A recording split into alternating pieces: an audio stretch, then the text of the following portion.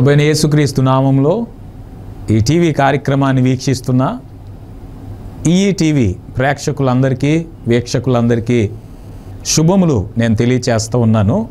ఇలాగున ఈ కార్యక్రమాన్ని మీ ముందుకు తీసుకురావడానికి మరి టీవీ యాజమాన్యం వారు ఇచ్చిన అవకాశాన్ని బట్టి నేను సంతోషిస్తూ మరి ప్రభువును స్తుతిస్తూ మరి కొన్ని మాటలు ఈ కార్యక్రమం ద్వారా మీకు తెలియచేయటానికి ఆశపడుతూ ఉన్నాను. మరి సువార్త మూడవ అధ్యాయం పదహారు వచ్చినాన్ని మనం చదువుతూ ఉన్నప్పుడు దేవుడు లోకమును ఎంతో ప్రేమించాను. కాగా ఆయన తన అద్వితీయ కుమారునిగా పుట్టినవాని అందు విశ్వాసముంచు ప్రతివాడు నశింపక నిత్య జీవం పొందునట్లు ఆయనను అనుగ్రహించారని ఆ వచనంలో మనం చదువుతాం. నిజంగానే దేవుడి లోకాన్ని ఎంతో ప్రేమించారు అని చెప్పటానికి మరి దేవుని వాక్యంలో అనేకమైన సంగతులను మనం చూస్తాం. ఆయన ప్రేమ మనకు ఎలా అర్థమవుతుంది అని అంటే ఈ లోకానికి యేసుప్రభు వచ్చినప్పుడు ఈ లోకం మీద ఆయనకున్న ప్రేమ ఏంటో మనం గ్రహించగలుగుతాం. ఆయన ఈ లోకానికి వచ్చినప్పుడు మరి రిక్తునిగా ఈ లోకానికి వచ్చారని చెప్పి వాక్యంలో చదువుతాం. ఆయన దేవుని స్వరూపం కలిగిన వాడై ఉండి మనుషుల పోలికగా పుట్టి తనను తానే రిక్తునిగా చేసుకున్నారు అని చెప్పి అపోస్తుడైన పౌలు గారు పిలిపిలకు రాసిన పత్రిక రెండో అధ్యాయం. ఆరు ఏడు వచ్చినాళ్ళు మనం చదువుతుంటే అక్కడ ఆ పౌలు గారు చెప్తున్న మాటలు గమనిస్తాం. ఆయన దేవుని స్వరూపం కలిగిన వాడై ఉండి దేవునితో సమానంగా ఉండటం విడిచిపెట్టకూడని భాగ్యమని ఎంచుకోలేదట. సమస్తాన్ని తన వైభవాన్ని అక్కడుండే ఘనతను గొప్పతనాన్ని విడిచిపెట్టి ఈ లోకానికి మానవ రూపమును దాల్చి లేక మనుష్య రూపమును ధరించి ఈ లోకానికి వచ్చారు. వచ్చినప్పుడు ఆయన పరిస్థితిని మనం గమనిస్తే నక్కలకు బొరియలు ఉన్నాయి ఆకాశ పక్షులకు గూళ్ళు ఉన్నాయి కానీ మనుష్య కుమారునికి తలవాల్చటానికి స్థలం లేదనే సంగతి బైబిల్ మనకు తెలియచేస్తూ ఉంది. నిజంగానే యేసు ప్రభు ఈ భూమి మీద జన్మించినప్పుడు ఆయనకు అసలు సత్రములో స్థలము లేనందున ఒక పశువుల తొట్టిలో పొర్రుండబెట్టినట్టుగా లూకాసు వార్త రెండవ అధ్యాయంలో మనం చదువుతాం.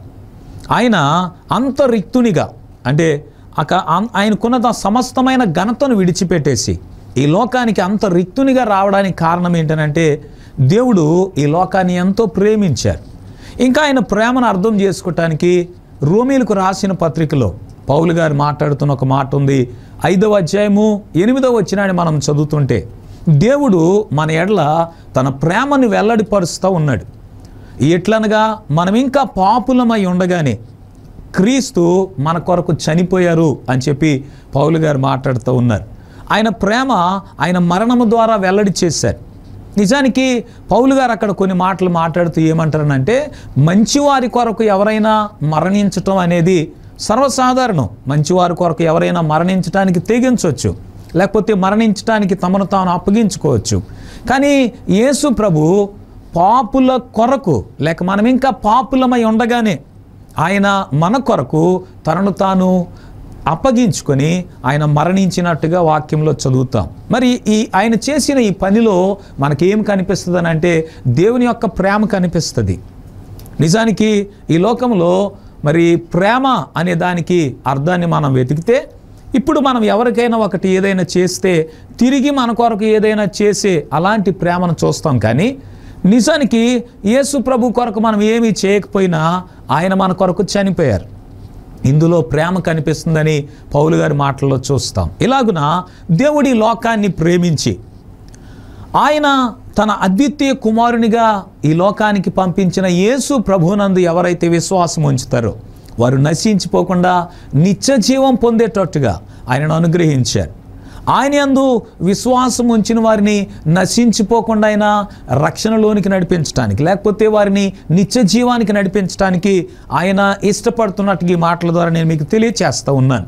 ఆయన నిజంగానే మనం నశించిపోకూడదని కోరుతూ ఆయన మనల్ని ఎంతో ప్రేమిస్తున్నారనే సంగతి మనకు అర్థమయ్యేటట్టుగా పేతురు గారు మాట్లాడుతూ పేతురు తన రెండో పత్రిక మూడవ అధ్యాయం తొమ్మిదవ వచ్చరంలో ఏమంటారనంటే ఆయన మనమెవరం కూడా నశించిపోవాలని ఇచ్చయించక ఆయన తన వాగ్దానమును గురించి దీర్ఘశాంతం కలిగి ఇంకా ఆలస్యం చేస్తున్నారని చెప్పే మాట అక్కడ మనం చదువుతాం. ఆయన ప్రేమ ఆయన చేసే పనుల్లో మనకు కనిపిస్తుంది.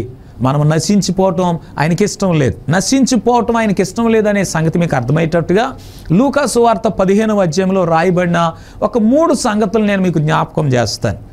అక్కడ యేసుప్రభు వారు చెప్పిన మూడు ఉపమానాలు మనం చదువుతాం. యోహాను సువార్త పదిహేనవ అధ్యాయం అంతా చదువుతుంటే మూడు ఉపమానాలు మనం చదవగలుగుతాం.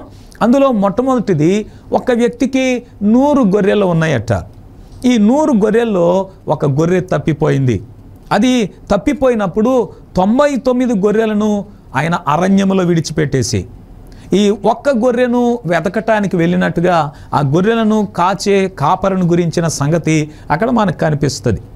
ఆయన ఎవరూ నశించిపోవటం ఇష్టం లేనివాడుగా మనకున్నాడు అని చెప్పడానికి ఈ మాటను జ్ఞాపకం చేస్తున్నాను. తొంభై తొమ్మిది గొర్రెలను విడిచిపెట్టేసి ఆ ఒక్క గొర్రెను వెతకటానికి వెళ్ళాడట. అంటే ఒక్కరు కూడా నశించిపోవటం ఆయనకి ఇష్టం లేదు. సాధారణంగా ఆలోచన చేస్తే తొంభై తొమ్మిది గొర్రెలు ఎక్కువే. ఒక్క గొర్రె పోతే పోయిందని వదిలిపెట్టేయచ్చు కానీ ఆ ఒక్క గొర్రె కూడా వదిలిపెట్టేయటం లేక అది నశించిపోవటం ఇష్టం లేని ఆ గొర్రెల కాపరి దాన్ని వెతకటానికి వెళ్ళి దొరికే వరకు వెతికి ఆ ఆ గొర్రె దొరికినప్పుడు ఆయన సంతోషపడినట్టుగా ఆ మాటల్లో చదువుతాం. అలాగే యేసుప్రభు వారు కూడాను ఈ మాటలు వింటున్నా మీరు నేను నశించిపోకూడదని ఆ పరలోకాన్ని లేక పరలోకంలో ఆయనకుండే వైభవాన్ని ఘనతను విడిచిపెట్టేసి ఈ లోకానికి ఆయన వచ్చారు. మనల్ని ఎంతో ప్రేమించి తన ప్రాణాన్ని కూడా మన కొరకు అర్పించారు అని చెప్పే మాటలు ఈ నేను ఈ సమయంలో జ్ఞాపకం చేస్తూ ఉన్నాను. అక్కడ ఉన్న మరొక ఉపమానం ఏంటనంటే ఒక స్త్రీకి పది వెండి నాణెములు ఉన్నాయట.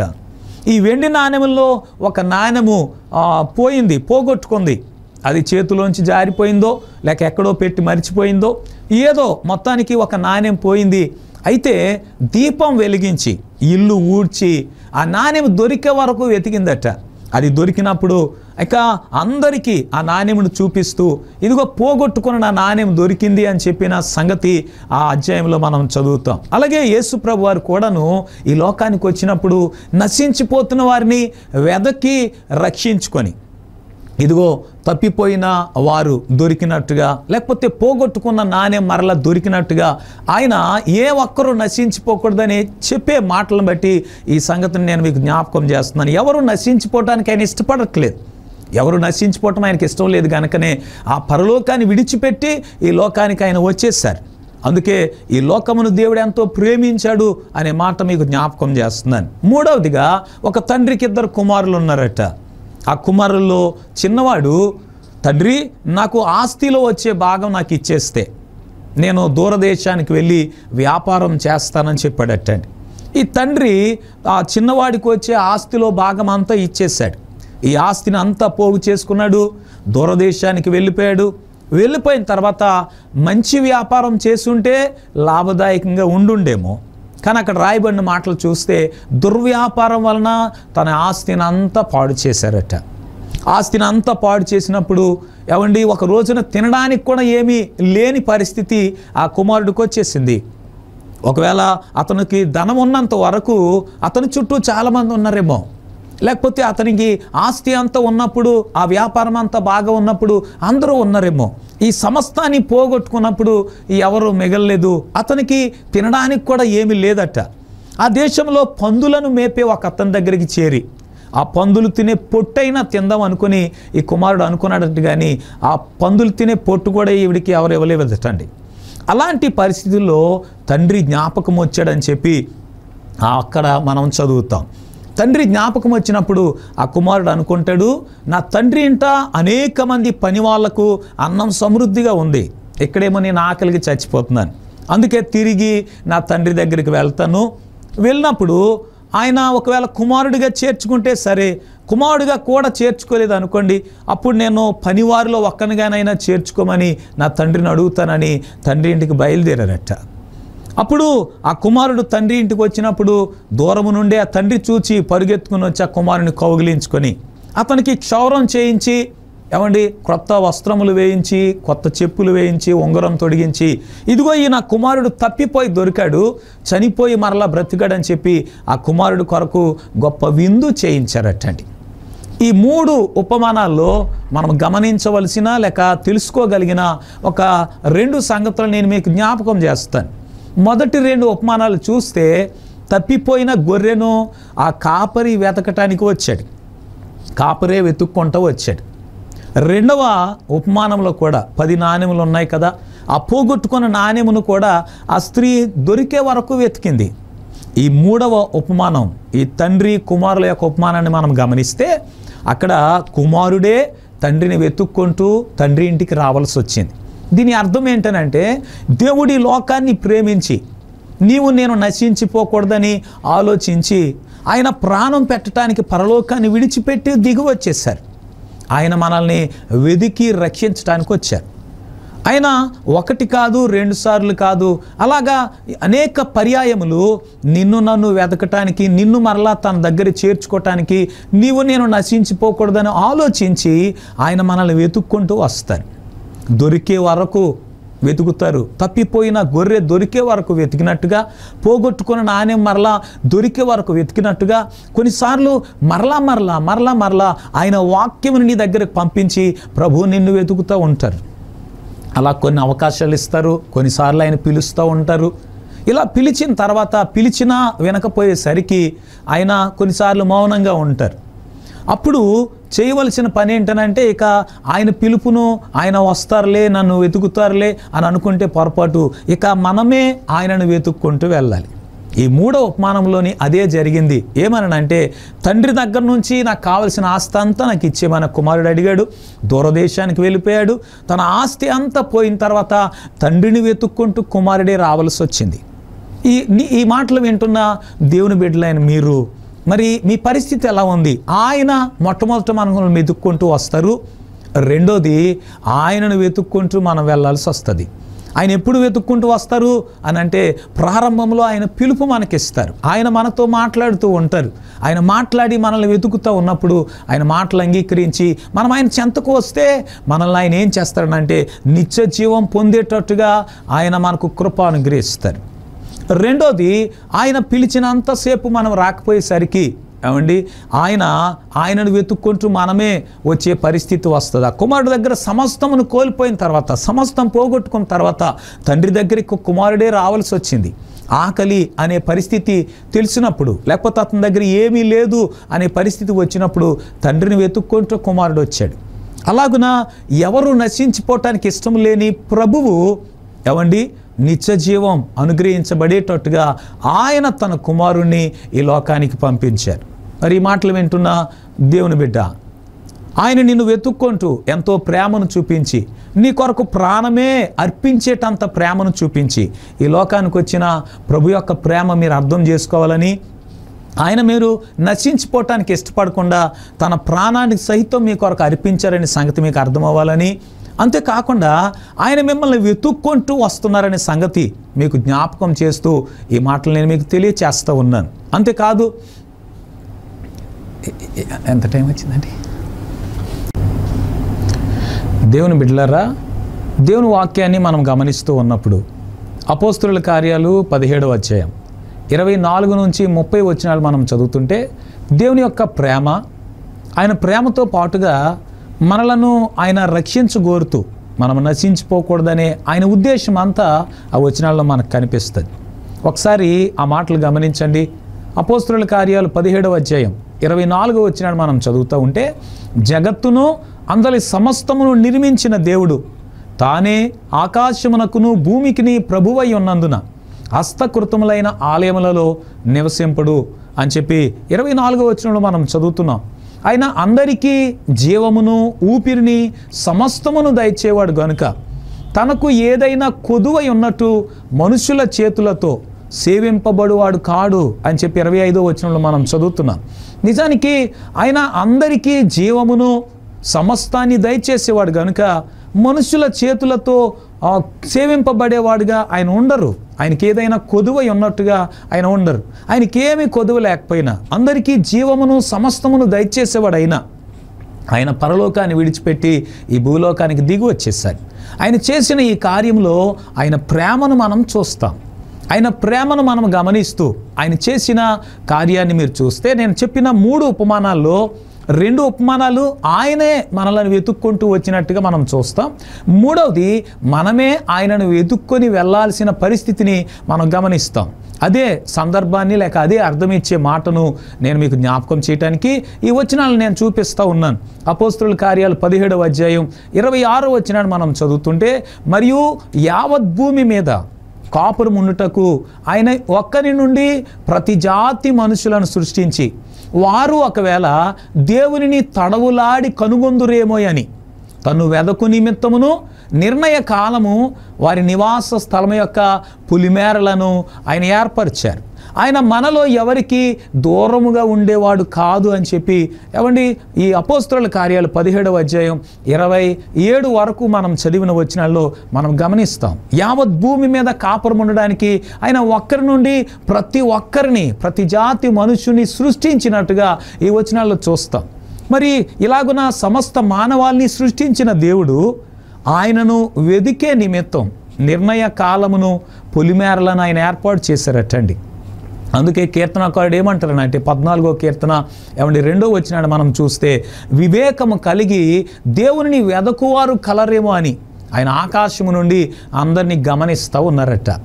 రెండు సందర్భాల్లో ఆయనే మనల్ని వెతుక్కుంటూ వచ్చారు. ఎందుకు? మనం నశించిపోకూడదని నిత్య జీవం మనం పొందాలని. మూడవ సందర్భాన్ని మనం చూస్తుంటే మనమే ఆయనను వెతుక్కుంటూ వెళ్ళాల్సిన పరిస్థితి. ఎప్పుడు వెళ్ళాలి? ఎప్పుడు వెళ్ళే పరిస్థితి వస్తుందని అంటే ఈ చిన్న కుమారుని మనం గమనిస్తే ఆయనకు పరిస్థితులన్నీ బాగా ఉన్నప్పుడు. ఏమండి? తండ్రి జ్ఞాపకం లేరు. ఆయనకు అసలు ఆకలి అంటే ఏమో తెలియదు ఆయనకి ఏ కొదువ లేదు. అలాగున సమస్తమును మనకు దేవుడు దయచేస్తూ ఉండగా జీవమును ఊపిరిని అనుగ్రహిస్తూ ఉండగా ఏమండి? ఆయనను మనం వివేకము కలిగి వెతకవలసిన వారమై ఉన్నాం. అన్నీ కోల్పోయిన తర్వాత కాదు పరిస్థితులన్నీ బాగా ఉన్నప్పుడే మనము తండ్రిని జ్ఞాపకం చేసుకుంటే మనం నశించిపోకుండా నిత్య జీవం పొందేటట్టుగా ఆయన కృప ఇస్తారు. ఆయన మనం ఆయన బ్రతుకుచున్నాము ఆయన అందే మనము చలించుచున్నాము ఉనికి కలిగి ఉన్నామని ఈ అపోస్తుల కార్యములలో పదిహేడవ అధ్యాయం ఇరవై ఎనిమిదో వచనంలో ఈ గ్రంథకర్త మనతో మాట్లాడుతూ ఉన్నాడు. అటువలే మనం ఆయన సంతానమని కవీశ్వరుల్లో కొంతమంది చెప్పారు అనే సంగతులు కూడా మనం చదువుతాం. ఇలాగున ఆయన మన గురించి మనం ఆయనను వెతకాలని ఇంకా ఆయనను కనుగొనాలని ఆయన పులిమేరలను నిర్ణయ కాలం నిర్ణయించిన తర్వాత మనము ఆయన ద్వారా రక్షణ పొందేటట్టుగా మనం ఎవరు నశించిపోకుండా ఉండాలని చెప్పి ముప్పై వచ్చినాన్ని మనం చదువుతూ ఉన్నప్పుడు ఆ అజ్ఞాన కాలమును దేవుడు చూచి చూడనట్టుగా ఊడుకు ఊరుకున్నాడు కానీ ఇప్పుడైతే ఏమండి? మనుషులందరూ దేవుని గురించి తెలుసుకొని లేక దేవుని గురించిన ఆలోచన జ్ఞానం కలిగి ఆయన దగ్గరకు చేరాలని మారు మనసు పొందాలని మనుషులకు ఆయన ఆజ్ఞాపిస్తున్నట్టు ఈ వచనాల్లో మనం చదువుతాం. కనుక ఈ మాటలు వింటున్న వీక్షకులైన మీరందరూ లేకపోతే దేవుని బిడ్డలైన మీరందరూ ఈ మాటల పట్ల ఆసక్తి కలిగి ఈ కార్యక్రమాన్ని వీక్షిస్తున్న మీరు ఆయనను వెతకటానికి ఇదే మంచి సమయం. ఎందుకు అని అంటే యశ గ్రంథంలో యాభై ఐదవ అధ్యాయం ఎనిమిదవ వచ్చినాడు మనం చదువుతుంటే అక్కడ రాయబడింది ఆయన సమీపముగా ఉండగా మీరు ఆయనను వెతకండి ఆయన మీకు దగ్గరగా ఉండగా ఆయన మీరు వేడుకోండి అని చెప్పి మనం చదువుతాం. నిజమే కదా? మనకు ఏమండి కొన్ని కంపెనీ వాళ్ళు మనకు కొన్ని ఆఫర్లు ఇస్తూ ఉంటారు. ఏమనంటే ఈ ఈ ఆఫరు పరిమిత కాల ఆఫర్ అంటారు. లేకపోతే ఇది ఏమండి స్టాకు ఉన్నంత వరకే మీకు ఈ అవకాశం అని చెప్తారు. లేకపోతే కొన్నిసార్లు పండగలకు కొన్ని ఆఫర్లు ఇస్తుంది ఒకరోజు రెండు రోజు ఆఫర్లు ఉంటాయి. అలాగున ఏమంటే ఆయనను వెతకటానికి నిర్ణయ కాలం ఆయన నిర్మించాడ నియమించాడట?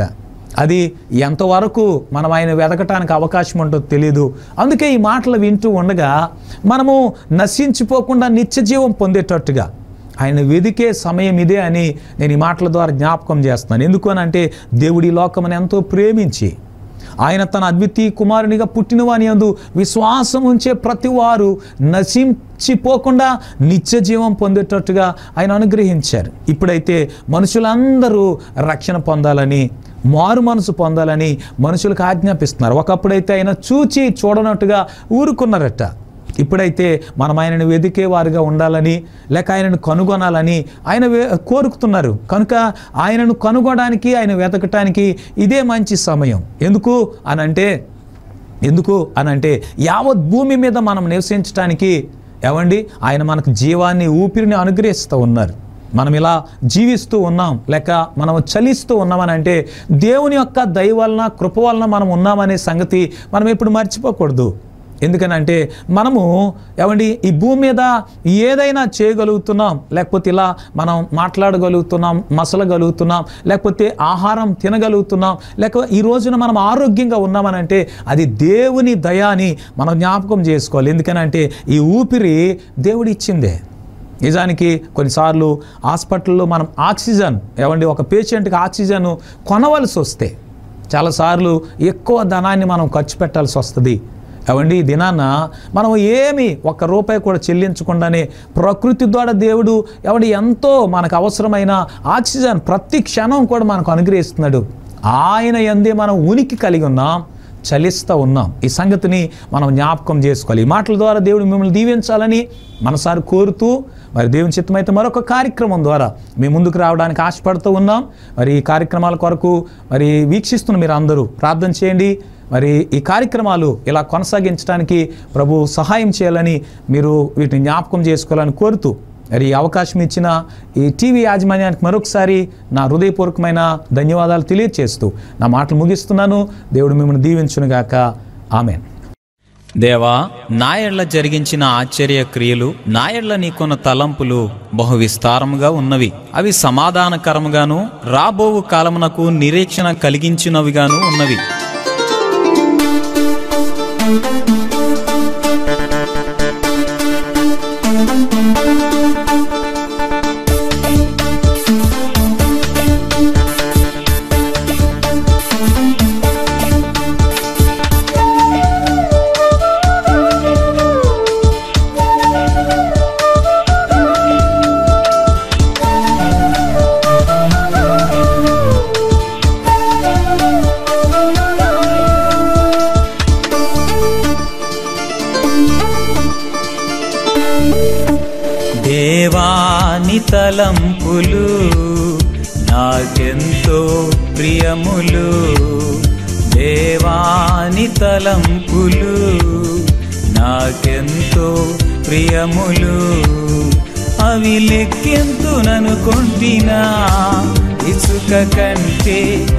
ఎక్కువగానున్నవి అవి లెక్కెంతుననుకొంటినా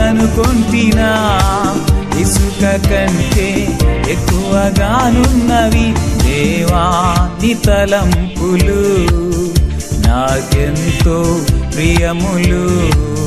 దేవాని తలంపులు నాకెంతో ప్రియములు.